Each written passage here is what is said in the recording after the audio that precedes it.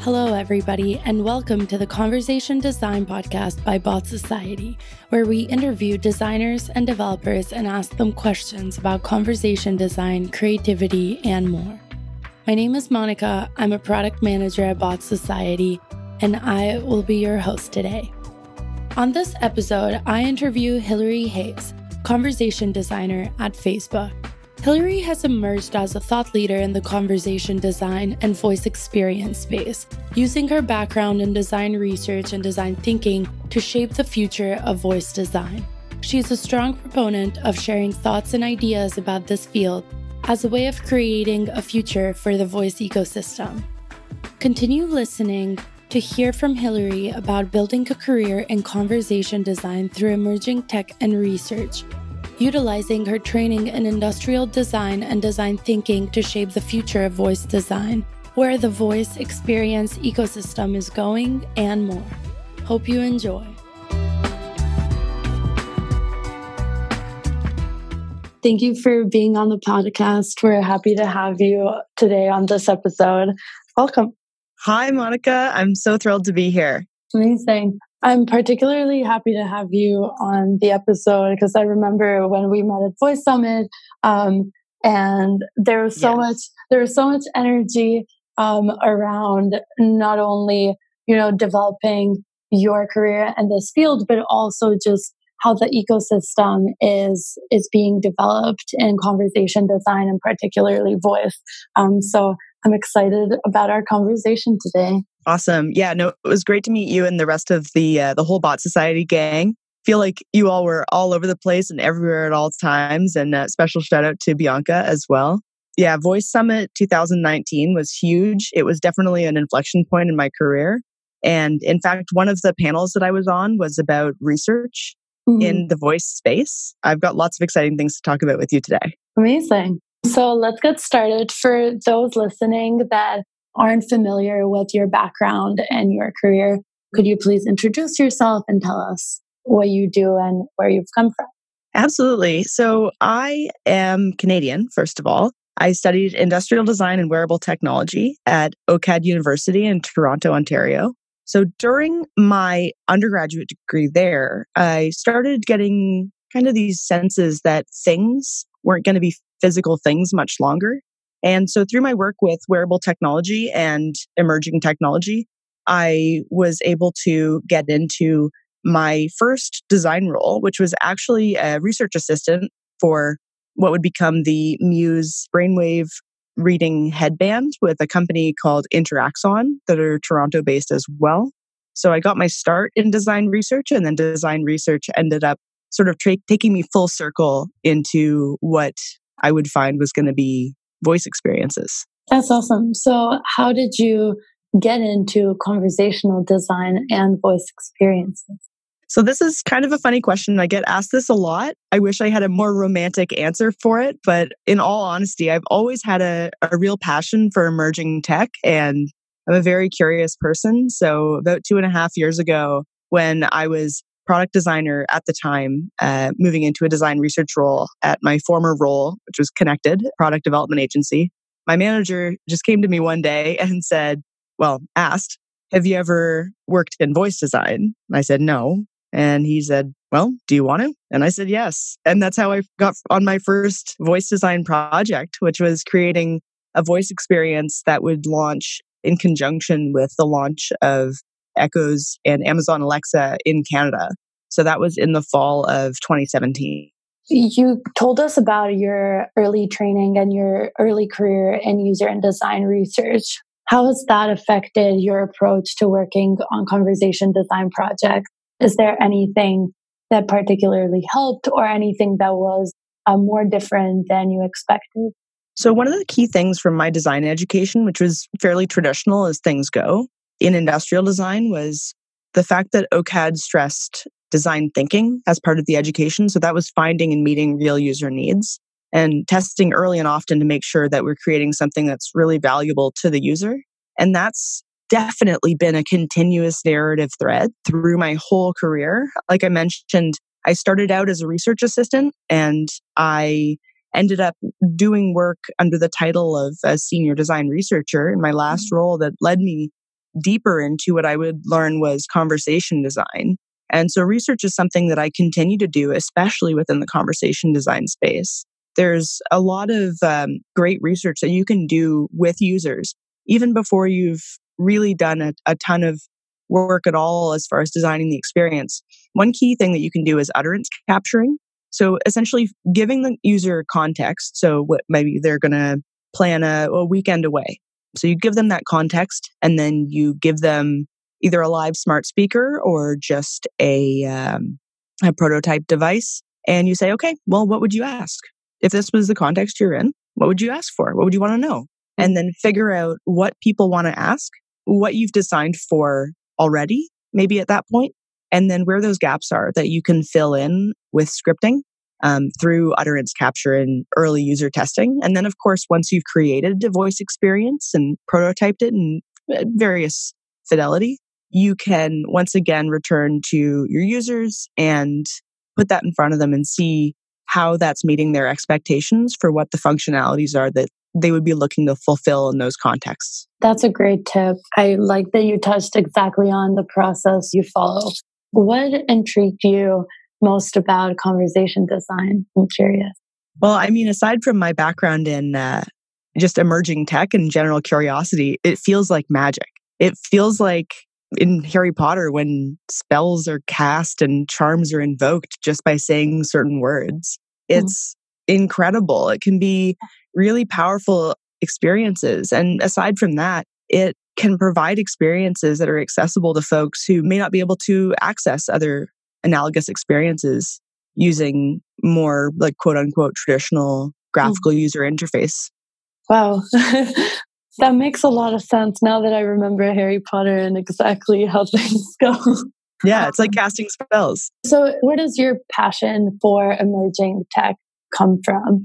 like I said, I've always just been super curious and I wanted to know how things work. And I love daydreaming about how things can be improved. And uh, even and especially really banal everyday things, I love thinking about how they could be different in the future. And that's why I take a lot of inspiration from like sci fi movies, even things like really silly stuff like Netflix's new reality show, The Circle. I love looking at that, looking at assistants like Jarvis in Iron Man and seeing how fantasy is informing how people are being taught about what they could expect from mm. voice experiences in a way that is really non threatening. It's sort of like how Pokemon Go has done a lot to normalize augmented reality. I feel like there's a lot of really great pieces of media that have helped to normalize and also push forward in a number of ways voice technology. Yeah. You were the 2019 Alexa Cup Canada winner. Congratulations. Thank um, you. Could you tell us more about that process and how you went on to to win that cup? Sure. First of all, I want to call out that I was on the team that won. There were 5 of us. Was one of the very few rules that were put forward for us ahead of the competition. So I'd like to also give a big shout out to Brian, Denis, Jess, and Guy, my other teammates. We all definitely won this together and worked our butts off for it. So the process was a little bit of strategic foresight at the beginning where we were zeroing in on what spaces we wanted to work on. Cause like I said, the only rule really was that we had to show up on competition day with five people we could do as much work ahead of time as we wanted to. And there was a scorecard that we had been given ahead of time. So I used the information from the scorecard that we'd been provided and then used that to create a, uh, a creative matrix. So uh, mm-hmm. uh, a grid essentially where the vertical elements were the different points that we needed to win on mm-hmm. the scorecard. And then columns um, going across horizontally were the different areas that we were targeting in a more macro sense. And then we would do some brainstorming. And we ended up zooming in on automotive and specifically decided to work with or work on a project for the company Zipcar, a number of points within their experience. And then from there, we were able to pull out these kind of experience chapters like booking a vehicle, navigating to the actual vehicle, And then when you're in the vehicle and then potentially dropping it off, to see where voice could really excel and could help assuage some of the concerns that we had heard through some pretty scrappy research that we were able to do in the two weeks that we had before the competition. Mm-hmm. Uh, and then through there, we were able to use those informed vignettes to create sample scripts. And then mm-hmm. uh, my incredible engineers, uh, Guy and Brian, whipped up some real magic with, mm-hmm. I think our presentation ended up being three different hard coded prototypes, but mm-hmm. they did work. It was pretty incredible. And we were able to do things that we were kind of surprised that we were able to currently do. Uh-huh. we did an API sweep and found that we could already use voice through the existing Zipcar app structure to honk the horn of uh-huh. the vehicle in case you were having trouble finding it in a parking garage or something. Oh, wow. Yeah. And well, one of the actually the biggest accomplishment I think that I took away from winning the Alexa Cup Canada was actually that sure, we won the Alexa Cup, but we also won People's Choice. And I feel like that actually mm-hmm. says more because all the teams, we were all able to vote for another team for mm-hmm. who we thought we would win. And we ended up taking home the People's Choice Award mm-hmm. as well. For me, that was even more powerful. Yeah. And uh, I've used Zipcar before, and I can see how the problems you were solving, they're pretty relatable in this day and age with all these apps. That's a great idea to incorporate a voice into that. There was definitely a few moments that we found that were really easily solved by voice. One of them was the classic human error of inaccurately estimating your remaining trip time. The zip car works because everybody, it's kind of like how libraries work. Like if, if you got to return the book so that somebody else can take it out.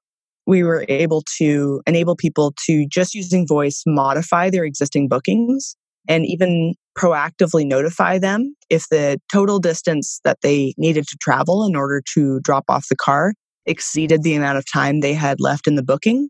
We would be able to notify them and then prompt them to extend their booking. So, when is Zipcar implementing this, please? I think they're aware of it now. I don't know how much I can say about that. You mentioned your team. What do you think makes a good team or a great team for developing voice app? Oh, for sure. I think a key to a really great team is diversity and diversity in skill sets, like diversity in all set all meanings of the the term. So within the team, we had myself as the conversational designer. We had a PM. PMs are absolutely worth their weight in gold, and she kept us all on track and on time.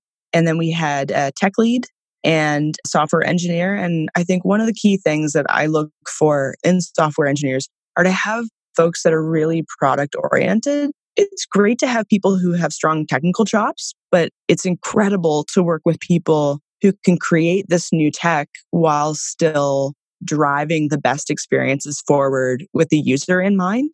Like mm-hmm. creating something not just because it rationally makes sense or because it can exist, but creating something that is going to be helpful and just keeping the user in mind at all times.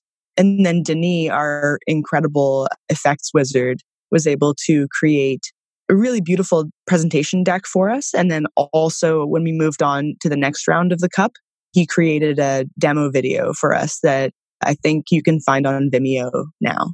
In general, how have you seen the conversation design ecosystem develop and grow over time? I've only been working in conversation design for about two and a half years now. But in that time, I've seen a lot of natural language processing and natural language understanding advancements. So, for instance, one of our engineers uh, who I'd worked with quite closely, he has a quite strong French accent. And at first, when we first started working on Amazon Alexa based experiences, it had a, quite a bit of trouble understanding him, but it's gotten drastically better just in a couple of years. So I think that's been a major thing that I've noticed.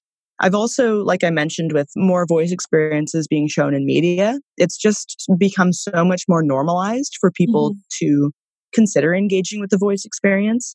And uh, more people have tried it now, honestly. And so it's becoming a little bit more demystified. How much of the ecosystem being developed do you think is on the end users versus the people and the companies that are working on conversation design? one thing that I've been really surprised about, and I'm still sort of disappointed in, is the big companies like Amazon and Google who are creating all this hardware.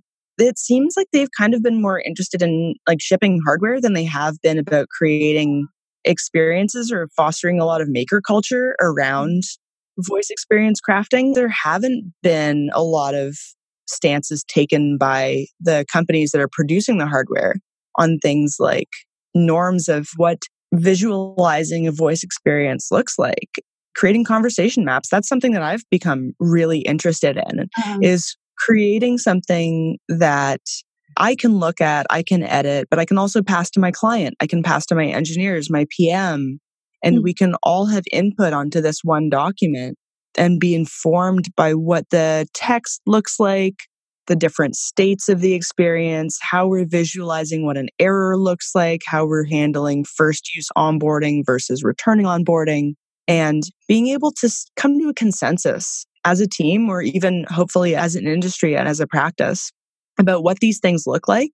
And I think that that's an area that there's been some slow, gradual growth happening on the more like independent outside of those large companies. But I'm really curious to see what will happen when somewhere like Google decides to finally let us see what they think a conversation map looks like.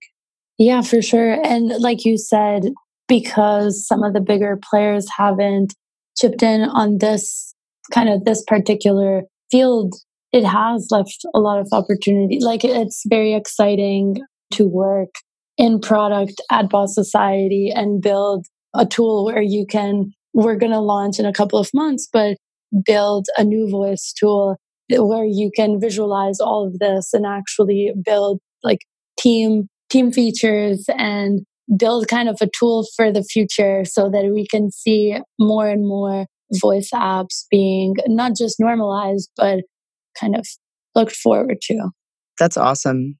And that's like the silver lining of the fact that the big players haven't. They've let this gap happen is that there is so much innovation being done and so many different avenues being explored in voice design visualization.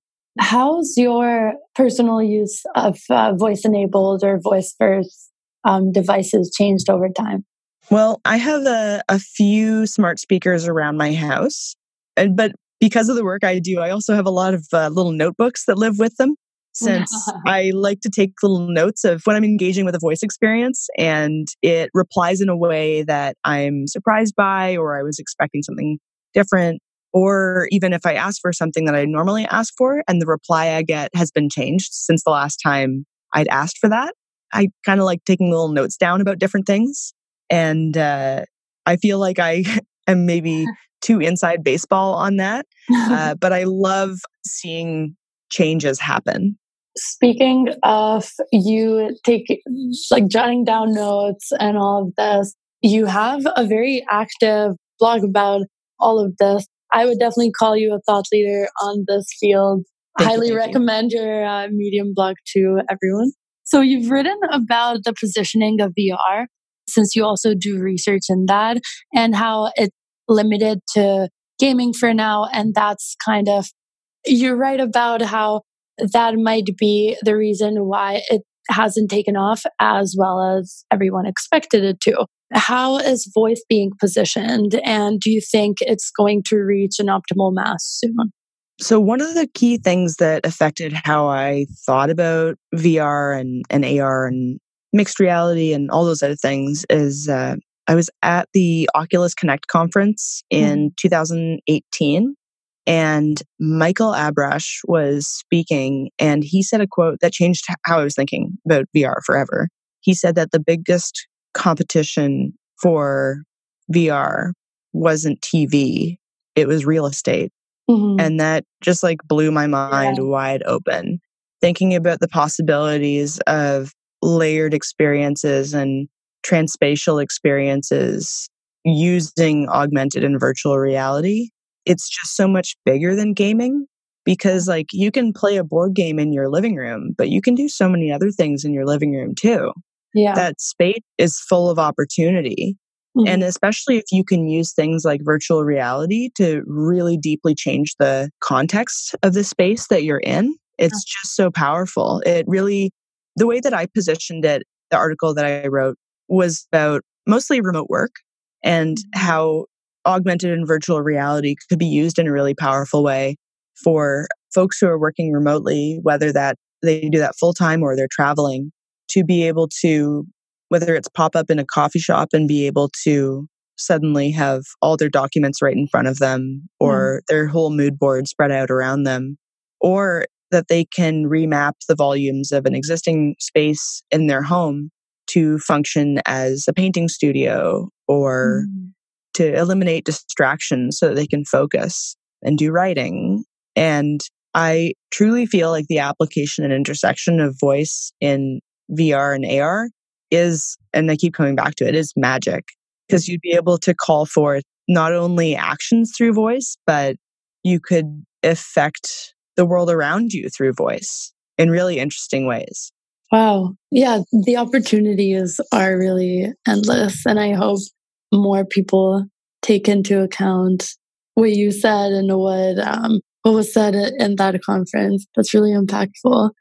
So you also write about really like that, um, where you speak about using wake conditions instead yeah. of wake words.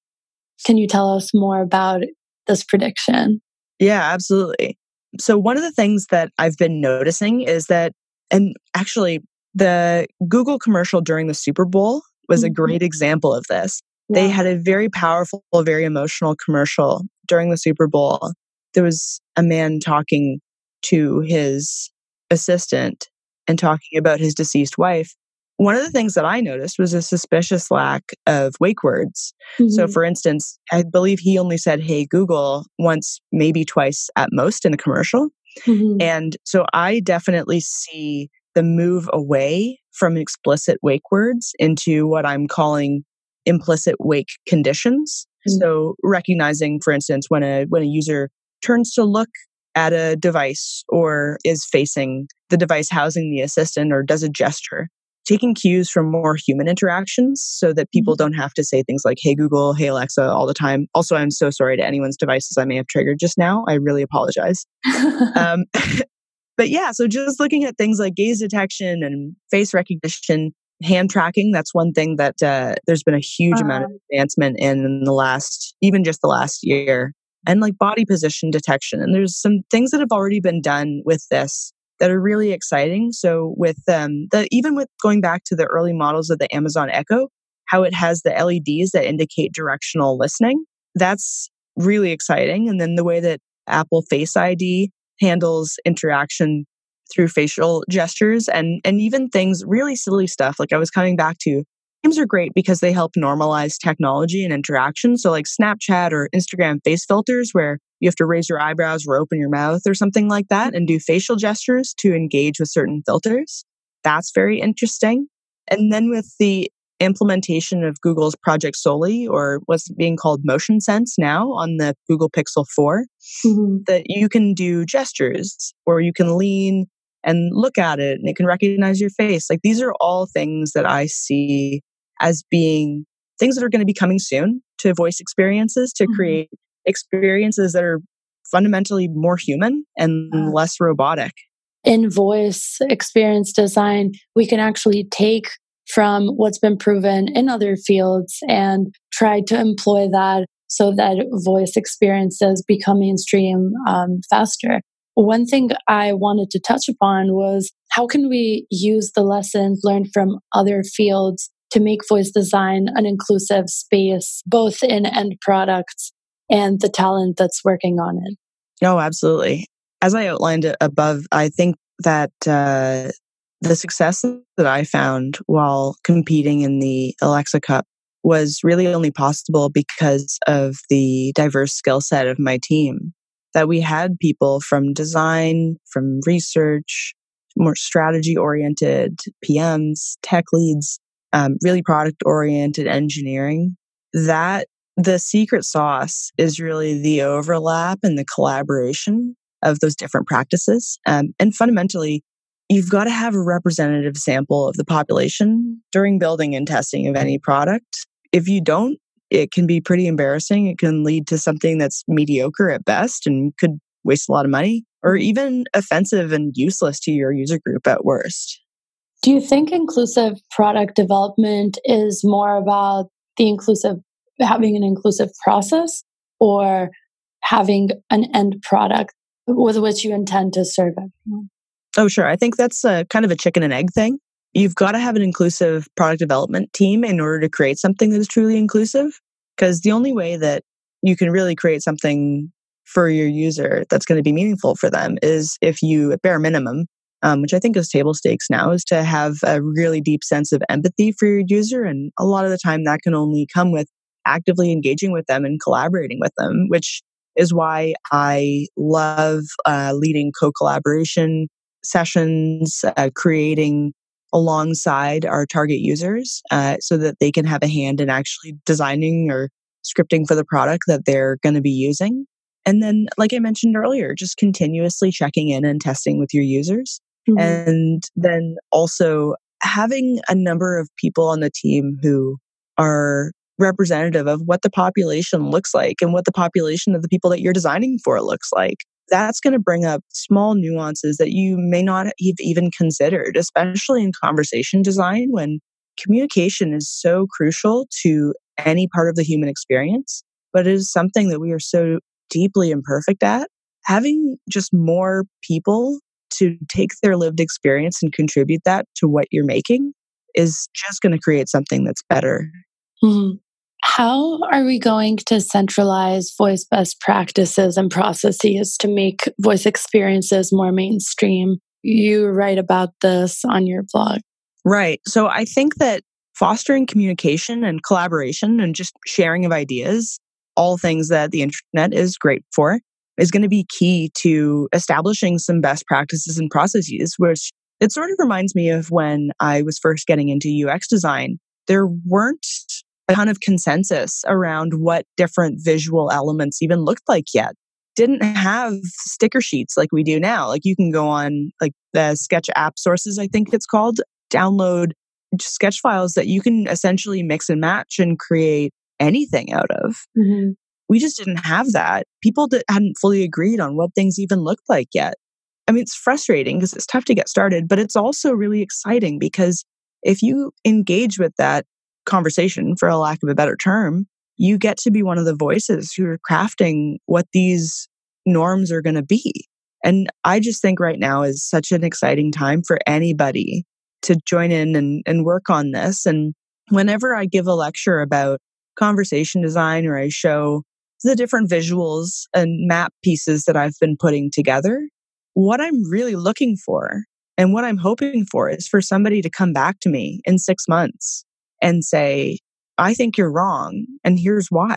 Because that's going to elevate the whole practice. If somebody's able to tell me, like, oh, no, I don't think help states should look like that, or I found a better way of like labeling components, like that's super exciting. And that's something that I would challenge everybody to do more of and to share what your conversation maps look like, to what your visualizations of voice experiences look like, to, to see where those patterns are starting to emerge. Yeah, um, that's a great kind of message to everyone. And I, I, can definitely see now how you're very passionate about emerging tech. And this is exactly what's needed in emerging tech is this collaboration and back and forth. You touched on this a little bit earlier, but I want to ask what's a voice experience you're a fan of? So I find that actually that a lot of the voice experiences that really re- resonate with me are from movies like Jarvis from Iron Man, like I mentioned, or even the app and Netflix's uh, reality show, The Circle. Media is such a great way of exploring what may not be necessarily possible right now, but things that could be, and to set sort of users' expectations mm-hmm. towards things that are a bit like even loftier. And that's one area, once again, that I think the big tech companies have fallen short on is setting user expectations. Um, so, for instance, this is why I think uh, Amazon Alexa was really successful in ways that Apple's Siri wasn't because of the gap in expectations. So, Siri was released, and the I mean, they really promised the moon with her. Like, you can do anything, it's your virtual assistant, mm-hmm. all this stuff. And then when she couldn't deliver on these really incredible promises, then people just just wrote it off. And I feel like that was pretty harmful to the voice practice as a whole. Whereas when Amazon's Alexa was introduced, it was the, the expectations were set that you could play music and set timers. And when people realized that you could get recipes or check the weather too, uh-huh. it was like mind blowing and incredible and like, whoa, everyone has to have one of these. So I think setting expectations is so key. And, and another thing is addressing the existing flaws in the mental model that mm-hmm. has been set up around voice experiences. And this is something that may be helped a bit as we move away from explicit mm-hmm. words. Because um, right now, you're essentially, I like to use the metaphor of the telephone operator. Uh-huh. So you talk to the telephone operator, your, your device level assistant, you ask them to connect you to a specific voice app or experience. Uh-huh. But then, strangely enough, when you want to take actions within that voice app or experience, you have to ask the device level assistant to do those actions, mm-hmm. which is really strange. Uh, it's as if the telephone operator stayed on the line the whole time and had to kind of convey any message to the the person that you were talking to. So I feel like when once we can get past wake words, that's going to unlock so much goodness and so much more truly conversational experiences. And it'll really change in a very helpful way how people think about voice experiences. It's reminding me of uh, you mentioned liking voice experiences in media. Now I'm thinking of a telephone operator. Uh, exactly. Uh, example in media. yeah, no, exactly. Because they're normally, they don't say anything else. They, the person just says, like, oh, connect me to Jane Smith. And then the operator goes, okay, connecting you now. And that's the end of it. Yeah. And they don't have to go like, oh, operator, tell Jane I'm free at four on Tuesday. But that's how we're dealing with with voice experiences right now, which I think is really interesting. And uh, I'm excited for when we get to move past that. Yeah, excited for uh, what's to come. exactly, exactly. So, ahead of the podcast, we took a bunch of audience questions and I'm going to ask a couple of those right now. Thank you to everyone who submitted questions. And we already just wanted to give a quick shout out. We already covered Zoe's question about how you started designing like voice interfaces and uh, how you got your beginning in conversation design. So this is slightly more technical question, but it definitely it touches on how even conversation design has developed over time. So Tom from Advisero um, asked about uh, buttons or, or choices. Should should designers use them? On one hand, they help user navigate, but on the other hand, they make the bot look like old fashioned uh, Facebook bot. Tom, thank you for this question. One area that I pretty much always point people to is the Google conversational design guidelines. And within those, there's lots of different things that could be related to buttons, chips, and um, different little interaction moments uh, within companion screens to voice experiences. For instance, if there was a list that needed to be reviewed and the user might select an option, um, I am in total favor of using all available input methods since voice may not always be most appropriate for the context or the user could be in they could be on the go and they could change contexts and they could go from somewhere for instance in their car where it might be totally socially acceptable and they would feel fine about speaking out loud to their assistant. They could move to a semi-public space where they might feel a little less comfortable like a coffee shop about saying things out loud. So allowing them to also have on-screen methods can be really helpful that's a great point. We're back to the questions about career path and uh, getting started in um, in voice. Sarah Morris from University of Washington asked about career path, salary range for conversation designers. Uh, what can you share about this? Mm, good question. So I would say conversation design it is an interesting field because in many ways it's really still emerging, but in other ways, it's been around for a long time. So there's practitioners like Margaret Urban and Cathy Pearl who have been doing this for uh, quite a while and ha- are really established voices in the space and as part of this whole emerging practice. And I would say that the career path, I think, for those people is through more of a linguistics perspective. Mm-hmm. Um, this wave of conversation designers that I'm presently part of, the one thing that I find is really exciting is that we all come from very diverse backgrounds and that as far as I know, impossible to study conversation design, which is really exciting because when I got into UX design, uh, there wasn't any way that you could have studied it. So mm-hmm. it was the same sort of thing that the courses didn't exist yet. And so you really had to just look at what practitioners are doing, what they're sharing, they're writing about on, on Medium and looking at the resources that are available and focus on what you do have and what you can bring to the role. Because conversation designers right now, they might have been, they could be from more technical perspective, like a software engineer. They could be anthropologists. Like there's really, you can come from wherever you are and bring the tools that you have to be part of this practice. I would also say that if you're getting into conversation design, start making, start writing about what you're learning. It is really never too early to share. You don't have to be creating brand new information. As long as you're getting your voice out there and you're being seen in the space, uh, that will do great things for your career. Yeah. And so now that you covered all that, um, we got this question from Natalie Scott, uh, from Natalie Scott UX, Maggie Pitt from 247.ai, Sharon Johnson from Samsung, Akansha Boston from DSC. And then this is a little bit more specific. Um, sure. Ramona Jones from Wordcatchers asked if there's a best approach to move into voice design from technical writing and become a contributor to the field. You kind of covered it, but. Yeah. So, like I mentioned, really just start learning. Um, the Google Conversational Design Guidelines are a great place to start as well. Truly just start and write about what you learned. It, you've been, after you've been doing it for a month, write a Medium post and say, like, I've been working in conversation design for a month. Here's what I've learned so far. Like, that's great. And tag me in it. Like, when you do that, tag me. I want to see that.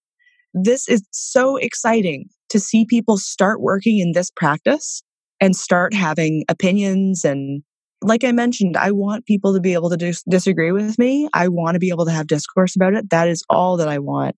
And don't feel like you need to wait until you're whatever. Again, I've only been specifically in voice for two and a half years. Don't worry about it so much. Just get creating. Medium is a really great resource for reading about voice design and uh, AI and all the kind of tangential things to that. And then also, uh, kind of shameless plug last year, a uh, 12 part on demand video course series um, with BrainStation mm-hmm. that should be available later this spring, I believe.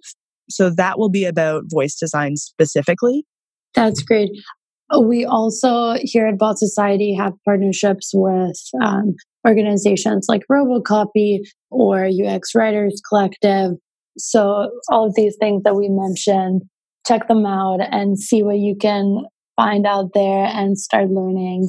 So yeah, feel free. Hilary said you should reach out to her and mention her. Yes, uh, please. Uh, feel free to reach out to our team here at Botsociety. We're very happy to help. As I said, our platform has been out now for a while, but we've been working on a new version of our voice platform that will be released soon. So it's all a very exciting time for this field. Yes, yes, it's huge. And I want to plug one more thing. Um, so I'm part of the social media team for an organization called Women in Voice. The Women in Voice Twitter is a great resource if you want to know about events, resources. There's some incredible people who are part of that. Right now, we are gearing up for our Valentine's Day uh, mentorship matchup mm-hmm. where you can, I hope it's still open by the time this goes up. You can follow the link through the Women in Voice Twitter. You can sign up as a mentor or mentee or both and get matched up with other women, gender minorities, and non binary people who are working in the voice space. I've volunteered as a mentor, and um, the aforementioned um, superstar Cathy Pearl mm-hmm. has also volunteered as a mentor. So could be a chance to get a 30 minute meeting with a leader in the voice field. So that would be a great way to turbocharge your career as a, a young maker. That's amazing. I'm thinking I should sign up as a young uh, professional in this field. Yeah, um, you absolutely yeah. should. Amazing. Thank you so much, Hilary, for speaking to us today. I was very happy to have you and congratulations on your new role as a conversation designer at Facebook. We're excited to have you in the Bay Area, although I, I think you're leaving the Toronto space in a really good spot. So happy to have you in the Bay Area. Welcome. Thank uh, you. I'm definitely not going to miss the weather. We're having like a crazy snowstorm right now, and I am just thinking about palm trees. I can't wait. awesome. Have a great day, and thank you everyone for listening. Okay. Thank you. Bye. Bye.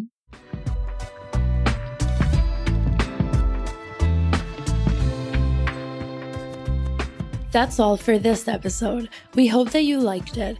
We'll continue to interview people in the chat and voice spaces in different fields. Know someone who would be a good fit or have a topic request? Let us know at info at botsociety.io or at Botsociety on any social media. Botsociety is a conversational design tool. With Botsociety, you can design voice and chatbot interactions in the same way that you can design apps or websites with Sketch or Figma. We have a free plan. Check it out on botsociety.io.